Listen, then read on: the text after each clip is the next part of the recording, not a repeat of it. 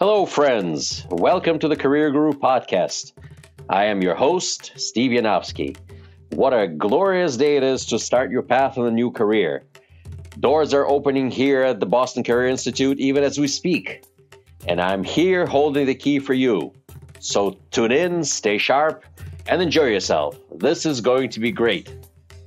Hashtag Let's Career Up. Hello, good day, everybody. Welcome to the fourth installment of the Career Guru podcast. I am your all knowing, all sensing, all loving career guru, but you can call me Steve. Today, it is my pleasure and the privilege to introduce to you one of my first graduates of the dental assistant program here at the Boston Career Institute, uh, my esteemed graduate, Dhurata Shosho. Um, she is one of the first people to graduate from the dental assisting program about 18 years ago. Um, Dhurata came to United States about 20 years ago from Albania, and she was a medical doctor over there. Um, when she came to United States, she needed to figure out what to do as far as her professional growth and career is concerned. And she found her way to the Boston Career Institute.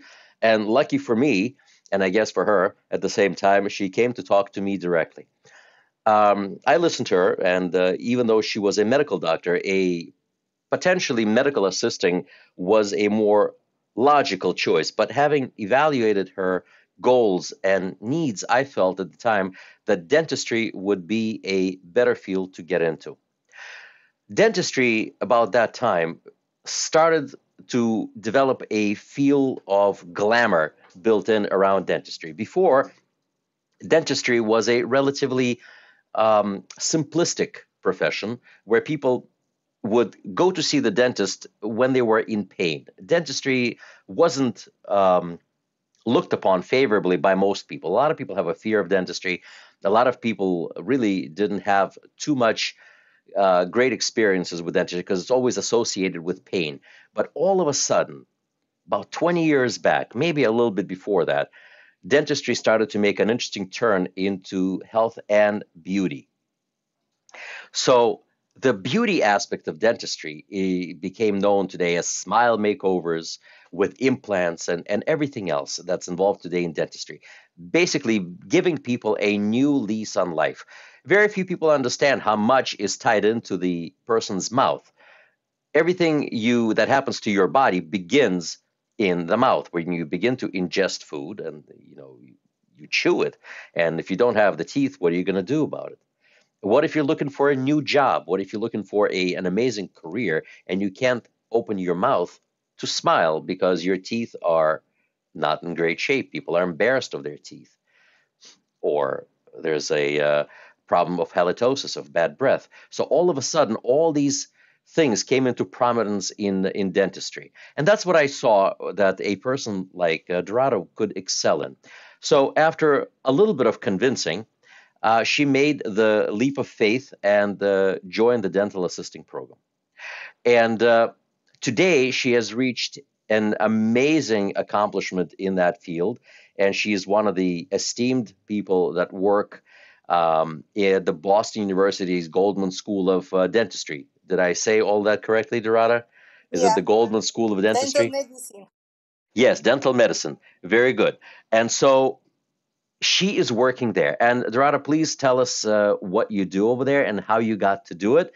And uh, tell us a little bit about your career growth, and then we'll sort of get in to some of the questions uh, that I have prepared for you.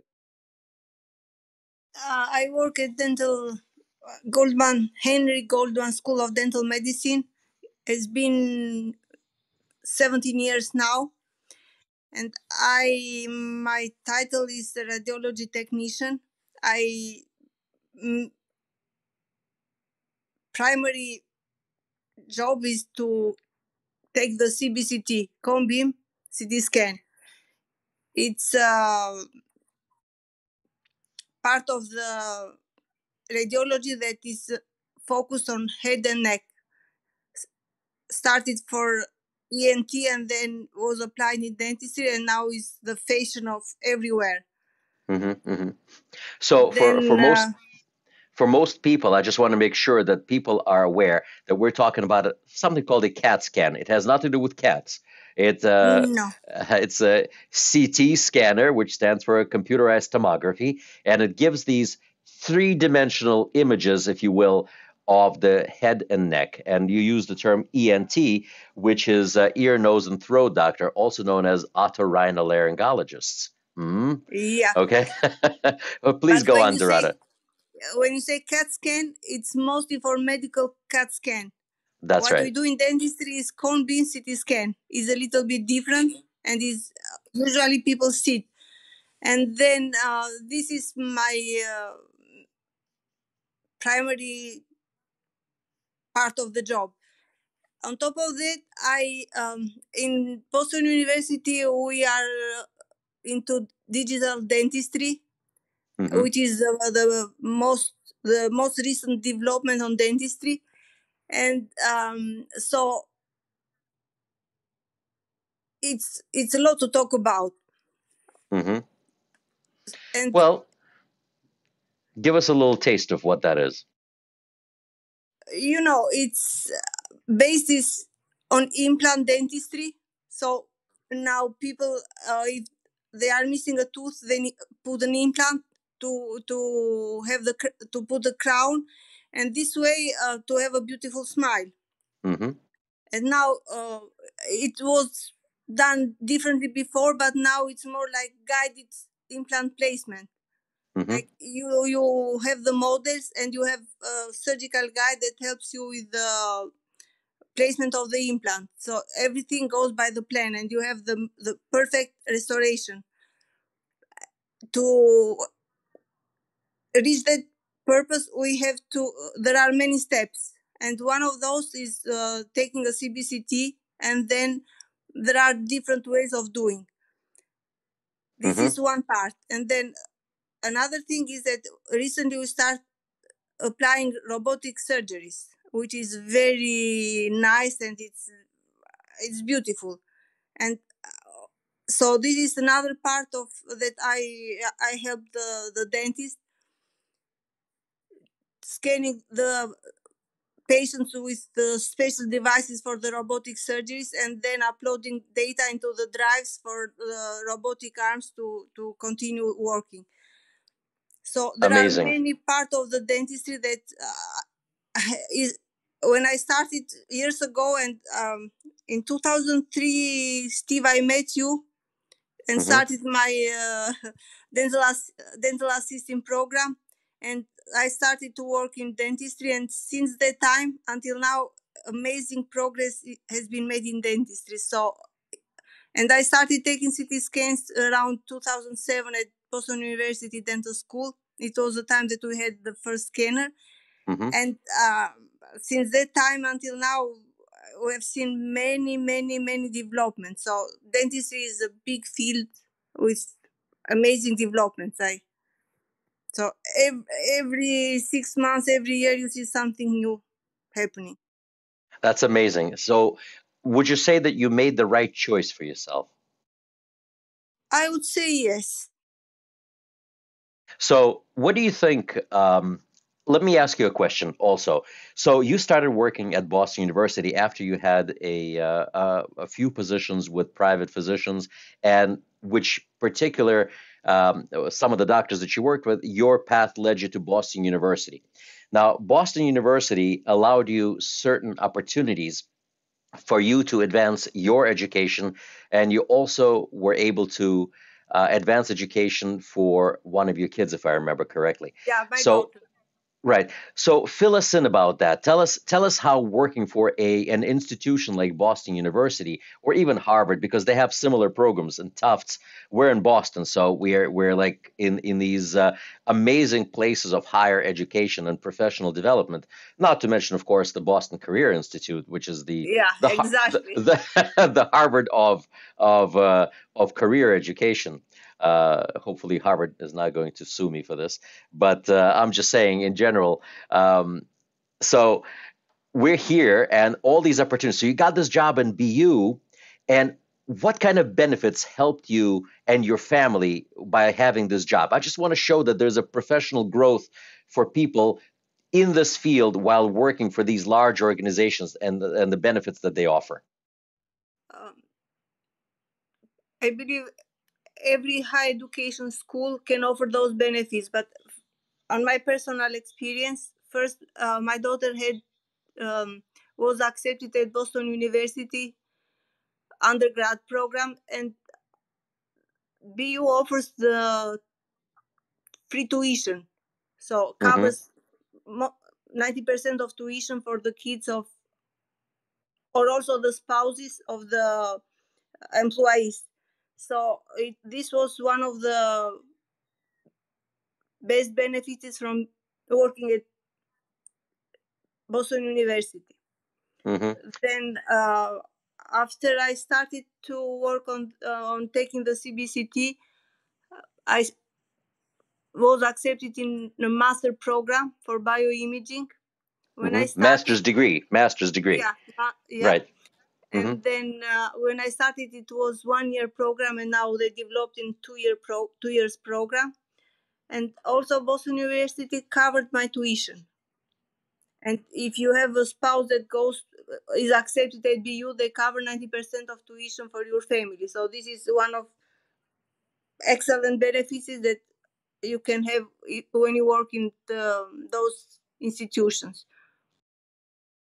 And that is absolutely amazing, folks. I just want to quantify that for you in dollars and cents. What does that mean to have tuition paid for, uh, uh, or most of the tuition paid for by the institution you work for? I mean, uh, I can expect uh, Yeah. from our listeners, a lot of people will be flooding the human resources offices trying to apply to Tufts, BU, UMass, and all these places, uh, you know, to see if they can get some free tuition. But I just want you to understand what that actually means as a person who went to college himself and as a person who is now paying for his kids to go to college, um, I am spending to the tune of $70,000 a year uh, f- per child for education. That is a lot of money. And if you can imagine an entire undergraduate degree, we're talking about a quarter of a million dollars in dollars and cents. So there are tremendous benefits for working for some of these organizations. Every high level organization like that has tuition reimbursement uh, and a lot of benefits for people. So if you're building your own career or careers of your loved ones, and as Dhurata pointed out, it's not just kids, it's also spouses. So there's many, many, many things you can do. You just have to have a vision of where you're going. And so with Dhurata, she ended up in medical imaging, was able to seize the moment and say, "Hey, this is great stuff." And of course, people at the uh, at the Goldman School of uh, Dental Medicine weren't uh, foolish either. They saw a person of quality, and they said, "You know, this is the person for us." She is uh, she is bright. She's hardworking with a solid work ethic. She's a licensed dental you. assistant. Why not invest time and energy into that person? And they, I, I, I, I know they made a wise decision. you know, it's been almost 20 years, and and our first conversation is still fresh in my mind. Yeah, And exactly. uh, I've had the privilege of meeting your husband too uh, at the time because I think it was a package deal. I had to convince not just you but also your husband. uh, you know that that this was the right thing to do. Uh, you know, it's a family decision. You know, my wife and I will also talk about stuff. Of course, it's a it's a, it's a great thing.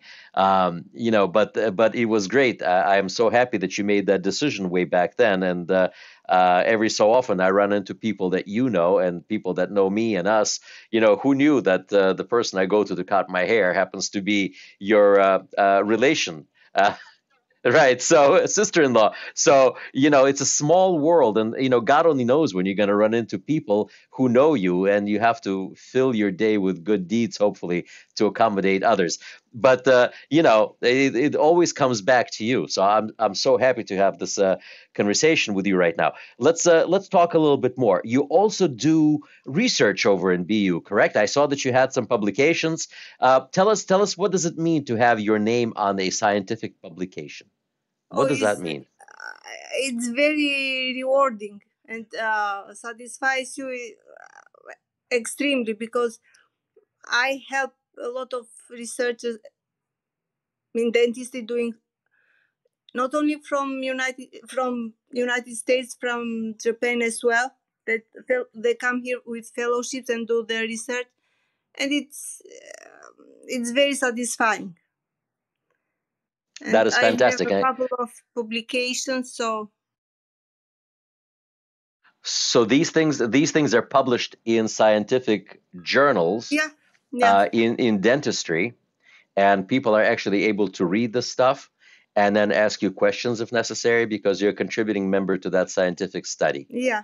And uh, also, I he- I helped a lot with um, research for uh, residents that are doing their masters, and help them with. This is another part of my job, uh, selecting. Ca- so once we have the IRB protocol ready, and then I select the cases, I uh, anonymize all cases, and then uh, according to HIPAA and keep all the master list and the keys for the data and then help them with um, sometimes analysis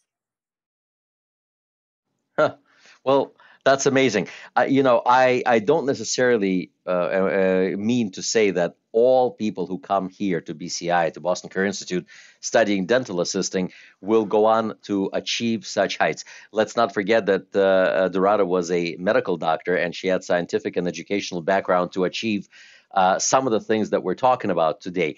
But no one is sto- uh, stopping anyone else from completing their bachelor's degree, uh, and uh, and moving on to bigger and better things. There's so it's a it's a big and beautiful world out there uh, in in uh, dentistry today. Uh, there's a lot of dentists and certainly not enough dental assistants uh, exactly out there. A a good dental assistant is very very hard to come by, very difficult to hire, but the salaries have also increased. Um, you know, I, I don't know what you hear, Dhurata, but the, on my end, uh, the uh, people without the educational credentials like you and people without any background, um, but people who do complete their studies here in BCI and then are eligible to get a Massachusetts state license, uh, they walk out of here and they're earning uh, it between twenty-five and thirty dollars an hour to start, and that's not the this is not outliers. This is a, a regular salary. And for people who are trying to do the calculations right now, $25 an hour is about $52,000 a year, while $30 an hour is over 60 and that doesn't include overtime. Yeah. So this is a realistic wage and all of that now comes with benefits. Benefits. There have been a lot of changes in uh, uh, in the employment uh, in even in private offices or in large companies. We have all sorts of companies in the area. We have Gentle Dental, we have Aspen Dental, we have all sorts of uh, uh, dental practice. And I will also, at some point in time, uh, if if I can secure one of my other former graduates who has uh, become a chief operations officer for one of these, you know, um, dental management companies that run multiple practices, and that's another amazing story, which I hope uh, even you will be able to listen to and and see how she went. So even without further education, a career growth path uh, path is absolutely possible. So, uh, you know, tell us a little bit about what happened about the, you know, all those 18, 19 years ago. I don't I don't even want to think about how long ago that was. Steve. Nin- 19 years ago. yeah Uh, I didn't I didn't have too much gray uh, yet, but uh, uh, in any case, tell us how you got started and whether you had these apprehensions or were you excited to start the job. Tell us how it worked out for you right after at the end of school, because dentistry was a new field for you. yeah it was a new field of me but for me but also i had knowledge from medical school and uh, so i remember a couple of advices that we got from you steve like how to go to an interview so Back then, I too. Wow. Hmm. yeah exactly so and i remember that you said one time listen when someone calls home let the voicemail so don't let uh, the old lady who answer because she doesn't speak english and yeah so couple that of is true. yeah that's true so uh, and another advice like you told if you leave a dental office please leave as nicely as possible because dentistry is a very neat tight field so if you leave bad impression in one office for sure you, are not going to get employed any other place so i remember few advices then um, you recommended me to a dentist that I remember very fondly, Dr. Siegel. She was a prosthodontist in Harvard. I started to work for her three days and then two days for another prosthodontist that is a uh, professor at BU, Dr. Jacobson. A couple of years, and then in 2005, Dr. Siegel merged her practice with another uh, dental office and transferred in Sudbury and I started to work at Boston University Dental School.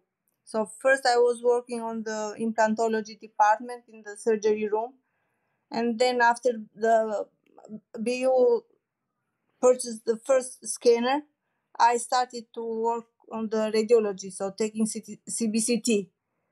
Mm-hmm. It, around that time, two years later or something like this, I, st- I started my program in bioimaging, and I was it was part time because I was working full time, and then uh, uh, so having also the master in bioimaging, I started to be more involved with research, and uh, in a while I also started to teach the pre-doc students, the dental students with the CBCT, and I'm still doing. So every week uh, the students that are in the radiology rotation come and I show them, explain them a couple of things about the CBCT, how they work, the requirements, and so on. And then I, so as the progress of the program at Boston University uh, developed, I uh, also my professional growth developed because uh, and I like to learn new things and I like to help everyone. And uh, Boston University gave me a lot of opportunities, and I I'm very very happy and I thank you first for the dental assisting program and then every every step I I had that I'm in this point of my professional life. Well, that is amazing. I, I, I am so, so happy that we had this opportunity to talk about uh, you in particular and a little bit about dentistry um, and about the program. Program is not difficult. Program is mostly hands-on nowadays. Uh, you learn to do hands-on skills enough to get you started in the field of general dentistry uh, for most people graduating today. But the most important thing is being able to obtain a professional license. When you first started out, uh, there was no licensure in Massachusetts. No, no, you no. just went. You just went with our certificate. But today, you know, uh, getting that professional license is just a perfect thing because that license gives you actual license. I, am not even sure how else to put it. You have a piece of paper that validates who you are, yeah. and, and, it's validated by the Commonwealth of Massachusetts. Um, it doesn't seem like a big deal, but it is a huge deal. And uh, with license comes professional responsibility and accountability. So uh, but with a professional accountability and responsibility and expanded duties comes the higher wages. And that is uh, that that is one of those great things. And just think what one person can accomplish in a dentist's office. It is the dental assistant at the end of the day who takes care of all of the other than the dentist who does the drilling or the implants or the braces or whatever most of the contact is with the assistant yeah. It is the assistant that prepares the room. It's the assistant that sterilizes uh, the instruments and, and the implants. But then again, implants may already come uh, pre-sterilized for uh, uh, for dentistry. Not so in, in, in medicine, but it's it's the dental assistant that does all that amazing work. And there's so many different specialties um, in, in, in dentistry. You can do prosthodontics. Uh, uh, uh, what do you call them? orthodontists, oral surgeons and the endodontists for uh, et cetera and just so many wonderful things. People are no longer dreading going to the dentist. They are happy going in and even happier going out. So it's a it's a happy place. Yeah. yes yes i know. It's the, the the the smell of the dental medicine is still there. The sound of the drills is still there but they got all sorts of stuff that can make you numb and comfortable so you don't have to feel a thing and then you walk out with that glorious smile you know i myself uh, the career guru is is preparing to uh, go to see the dentist for some invisaligns to straighten out my my teeth so I will have a Hollywood smile. Yeah, yeah. Invisalign Yes, is very in trend now. Yes, yes, and uh, and uh, you know I'm I'm already uh, featuring two implants in my mouth. Thank you. Uh, you know, so so that was very exciting, and not without the involvement of a of a CBCT. So even the the even the small offices today actually uh, you know have it as a standard of care. You know, with a CBCT in the office, which is an exciting thing. I mean, folks, I, I got to tell you, I saw the images, and uh, I don't know whether you know anything else about me. I don't know if I told you. One of my experiences uh, way, way in the past was uh, working with CAT scanners and MRIs and regular X-ray machines in in hospitals. Uh, I used to do that sort of thing, and so that was exciting way back then. And then all of a sudden, in dentistry, you go into an office and you have this amazing three-dimensional uh, scan of your mouth, which is just incredible, and it's all digital. Yep. And then you can take this and and insert these implants, and then you know in a short period of time you have a brand new tooth, no pain, no fuss, no muss. I mean that's just that's just terrific. So, um, well, anyway, Dhurata, any other words of wisdom for the aspiring career gurus out there who may consider dentistry as as their growth uh, pattern? Actually, I uh, would say that uh, if you are thinking about in going into dentistry as dental assistant, one thing is the most important: work hard and don't hesitate to ask any to ask questions. And if you need help learning, request for help. Dentistry gives you the opportunity to to grow in many directions. And also uh, in Massachusetts, you can get the you can get licensed, so you get better wages. But if you are willing to study, you can go for the national board and be certified, which is even Yes. better, so you get even higher wages. But more, you can go into the institution. You can also teach after certain. So it gives you a lot of opportunities, and it's it's nice job.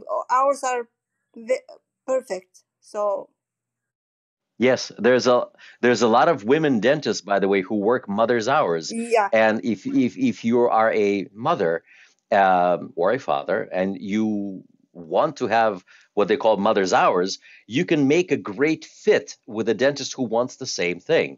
There's a lot of people who are juggling family, not just uh, not just people who are becoming dental assistants, but dentists themselves. I mean, they're people too. We forget the dentists are people, and they have families, and they need to pick up their kids from school and take them to school. So, you know, with that in mind, with that in mind, um, and you I've know, seen that's dental uh, assistant going for dentistry, becoming a dentist in a while. Even sure. so, it's it's as long as you you have you have your goal and you you work hard, you can reach anything. So And remember, sorry, Dhurata, to interrupt. You know, next step from dental assistant, you can do dental hygiene. It's only two years education, and uh, you know the the amount of money and the job satisfaction that you can have is just absolutely tremendous. And then why not become a dentist? Why not? Why not? You know, you can do it, but it, it just takes a first step. The first step is always the hardest. Lucky for us, we have a place like Boston Career Institute where you can actually take that step without a huge investment of money, huge investment of time, with like minded individuals. Get in, get out, get a job, and boom, next thing you know, you're doing a CBCT in BU. yeah, exactly. Like I was lucky to find Steve. Well, I was lucky to find you, and I, I, I am so glad that we have kept up over the years. And I am very grateful that you consented to be on the on the podcast here with us and to help other people uh, become inspired and empowered to follow in your footsteps. Not necessarily all the way that way, but there's the you just start walking, and then next thing you know, the road takes you somewhere, and you find that professional happiness and the financial rewards, which are so wonderful in the field of healthcare and especially dental medicine. So I, I thank you very much. I look forward to future conversations with you and uh, running into people that know you and related to you. Uh, it's it's great. You it's great. Thank you, welcome. thank you, Dhurata. And I'll keep sending people to you, Steve. Thank you very much. For me, that's the biggest blessing and the uh, and the um, how should I say culmination, successful culmination of my work over the last 20 years is when folks like you still want to send their friends and acquaintances to see me here at the Boston Career Institute. I'm forever grateful and thank you so much You are uh, welcome. for for staying with me. Well, folks, that wraps up our fourth installment of the Boston of the Career Guru podcast, broadcasting from uh, spacious and modern studios at the Boston Career Institute. um, I look forward to listening to your comments, reading your comments, and uh, helping you accomplish your success. Thank you very much. May God bless you and your family, your families, and I look forward to seeing you all. Let's career up. Or is it hashtag let's career up? That's it. well, friends and aspiring career gurus, this was fun. Thank you for tuning in. I feel enlightened, I feel empowered, and I hope you do too. And I'm feeling grateful that we spent time together. For more information about Boston Career Institute, please visit our website at www.bostoncareer.org. Boston Career Institute has three campuses in Brookline, Malden, and Lowell, Massachusetts. You can call our toll free number at 888 383 6058 for questions, comments, and or other information about our podcast. Email bcipodcast at bostoncareer.org. The Career Guru podcast is available on Apple Podcasts, Spotify, Anchor FM, iHeartRadio, TuneIn Radio, Podbay FM, and of course YouTube, or wherever you stream your podcasts. I'm looking forward to seeing you all soon. All the best to you. My name is Steve Yanovsky. I am the Career Guru. May God bless you. Hashtag Let's Career Up.